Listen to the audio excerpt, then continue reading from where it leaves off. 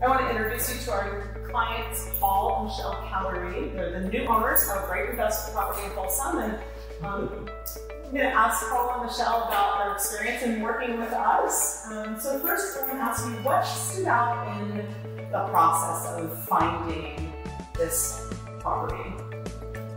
Um, I think the thing that stood out to us most was Mela's responsiveness to all of our questions and taking us around and showing us properties.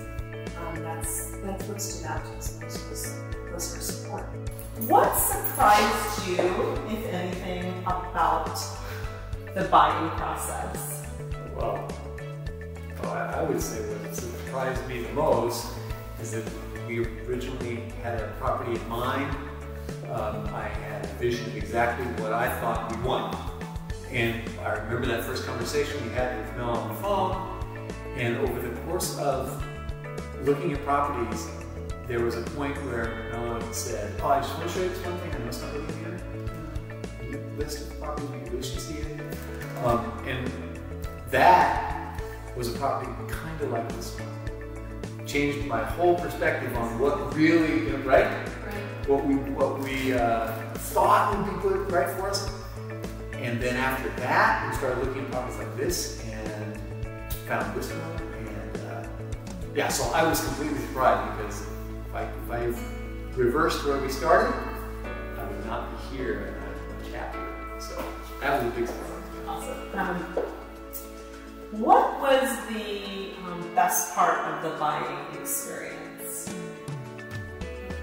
Well, the best part was going around with Mel and looking at properties.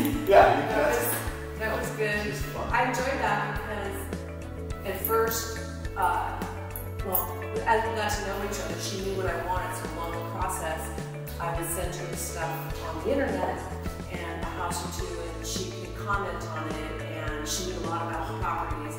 It saved me a lot of time, I felt like. So, yeah. Well, you don't want to go see that. Yeah. It, it, was just, it was really helpful. And so that, for me, that was the most enjoyable part.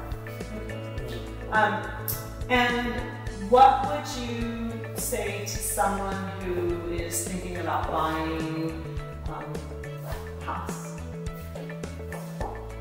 I'd say, well, ask Matt. That's the best thing to do first. Okay. Yeah. All right.